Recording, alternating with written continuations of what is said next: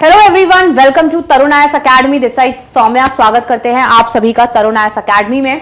और यहाँ पे आप देख सकते हैं फ्री मेंटोरशिप सेशन जी हाँ अगर आपको यूपीएससी की तैयारी करनी है और चाहते हैं कि फ़र्स्ट अटेम्प्ट में पेपर क्लियर करना है जानना चाहते हैं कि क्या चीज़ें आपको पढ़नी है क्या चीज़ें नहीं पढ़नी है एग्जैक्टली exactly. सो so, इसके लिए आपको जो है मेंटोरशिप सेशन लेना होगा। यानी मैं एज अ मेंटोर आपको गाइड करूँगी। यहाँ पे आप मेरे क्रेडेंशियल्स देख सकते हैं और मेंटोरशिप सेशन को कंडक्ट करने के लिए किस तरीके से आपको अप्लाई करना होगा वीडियो के डिस्क्रिप्शन में आपको दिया होगा गूगल फॉर्म उस गूगल फॉर्म को आप फिल करेंगे और मेरी टीम आपको कांटेक्ट करेगी और इसी के साथ एक मेंटोरशिप सेशन आपका लिया जाएगा। अब ये मेंटोरशिप सेशन बिल्कुल फ्री है, बट ध्यान रखिए कि ज़्यादा लंबे समय तक फ्री नहीं है सो जल्दी से मौके का फ़ायदा उठा लीजिए। बात करें कि मैम क्या यूपीएससी पे पूरी तरीके से डिपेंड रहना सही होगा जब इतना कॉम्पिटिशन है? सो क्या यूपीएससी पे रिलाय करना सही होगा? SSC as a backup option रखना चाहिए, नहीं रखना चाहिए, कितना सिलेबस मैच करता है, कितना नहीं करता है।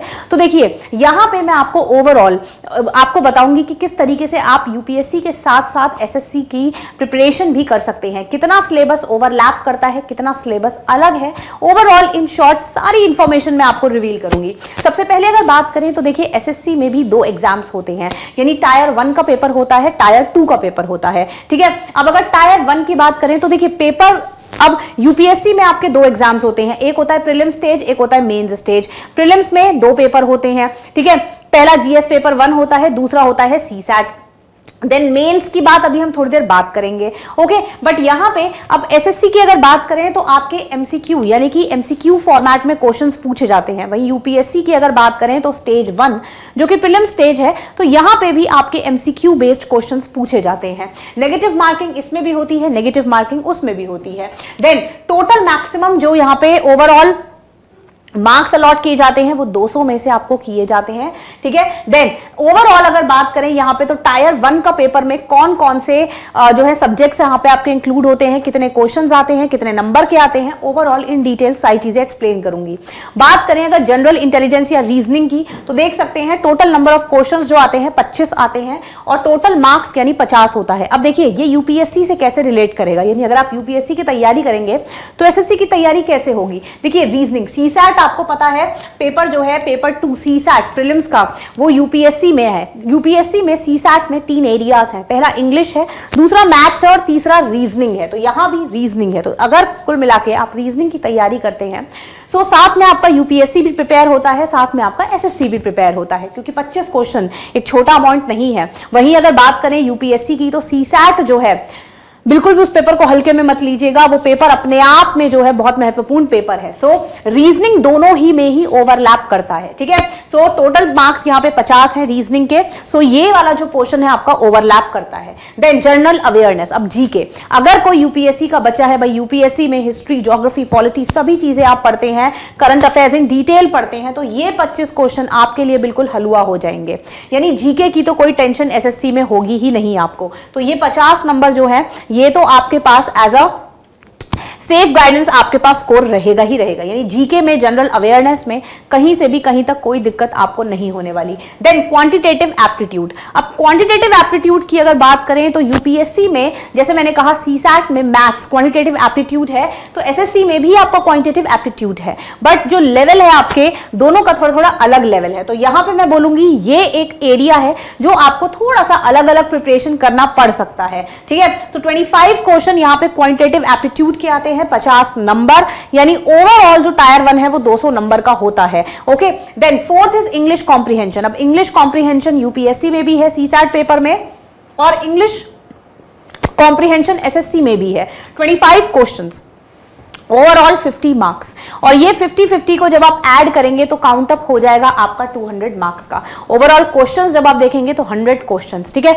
100 क्वेश्चंस 200 मार्क्स ओवरऑल जब आप देखेंगे तो यहाँ पे आपका जो आप देखेंगे कितना परसेंट ओवरऑल मैच होता है तो मैं बोलूँगी 70 परसेंट तक सिलेबस जो है आपका मैच होता है यूपीएससी और एसएससी का, ठीक है?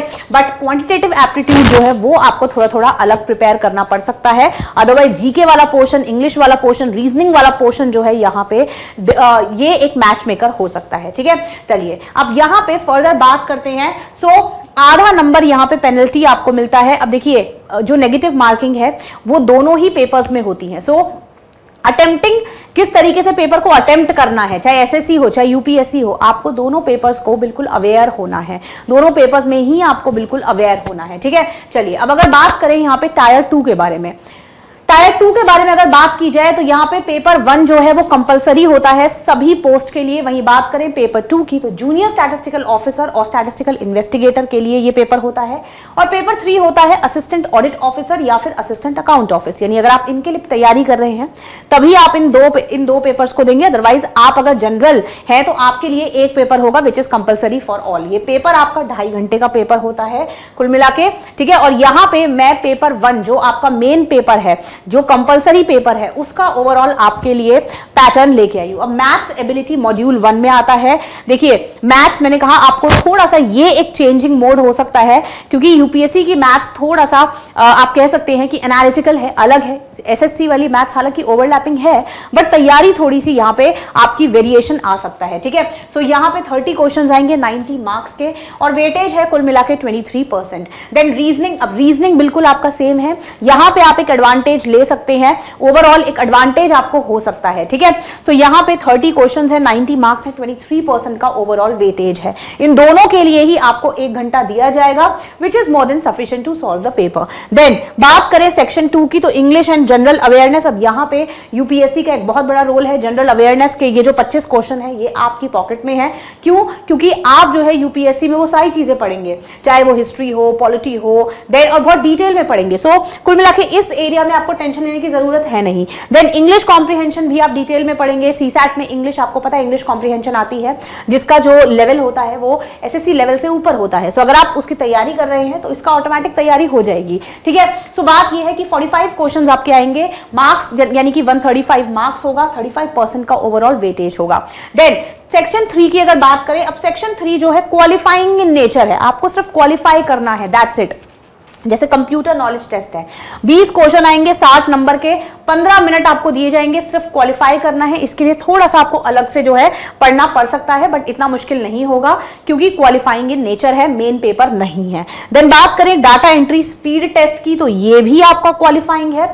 यानी कुल मिला के मैम जो आपने पूरा बताया यहाँ पर बेस्ड ऑन एसएससी और यूपीएससी अब वहीं अगर हम बात करें, देखिए, अगर हम बात करें आपसे तो ये एसएससी का ये हमने कर लिया है।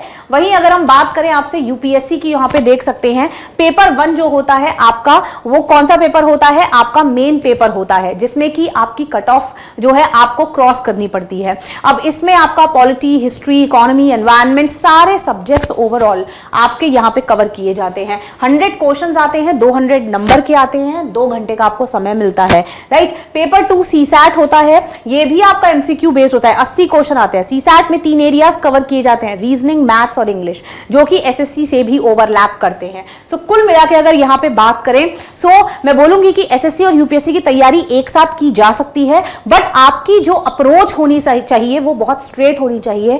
क्लैरिटी बहुत क्लियर होनी चाहिए। आपको पता होना चाहिए क्या मेरा वीकनेस है क्या मेरा स्ट्रेंथ है किस समय में क्या मुझे करना है किस समय में क्या मुझे छोड़ना है। सो so, अगर ये क्लैरिटी है आपके पास तो ज़रूर आप दोनों एग्ज़ाम्स की एक साथ प्रिपरेशन कर सकते हैं। और एक बैकअप सपोर्ट भी आप पा सकते हैं। राइट चलिए, अब इसी के साथ वीडियो को एंड करते हैं। इसी तरीके की वीडियोस मैं आपके लिए लाती रहूँगी, सिर्फ़ और सिर्फ़ आई तरुण चैनल पे। इसलिए चैनल को जल्द से जल्द सब्सक्राइब कर लीजिए, अगर सब्सक्राइब नहीं किया है तो and wait for my next video thank you so much have a nice day bye and take care everyone